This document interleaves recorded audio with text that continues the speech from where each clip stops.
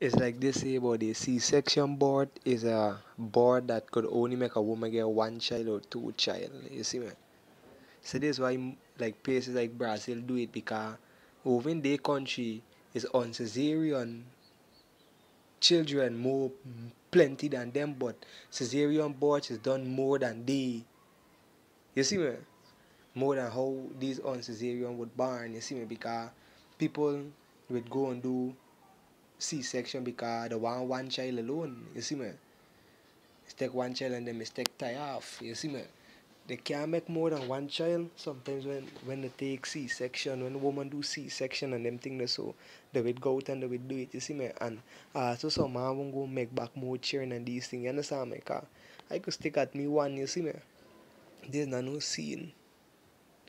Chin, I don't stick at me one. You see me? There's no, no scene. So what I'm trying to show them is that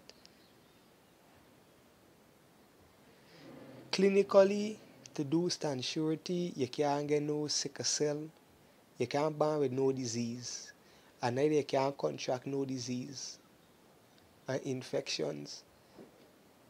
You see me? Cause this thing is a clean thing, you see me? And I don't try to show them C-section is a few, a small few.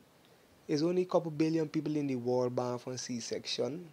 I mean million, I mean couple million people in the world banned from C-section, you see me? Billions of people are on cesareans. It's just a few million is on cesarean. So you I take what I'm telling you. In a few million and they scatter all around the world. Find find places. So you would barely you would barely come across a cesarean born person. You see me? Hardly. It's a hundred and something countries and it's only but ten countries in the world out of 150 countries does do C-section more than normal boards. So you it it what happening all around the other world them you see.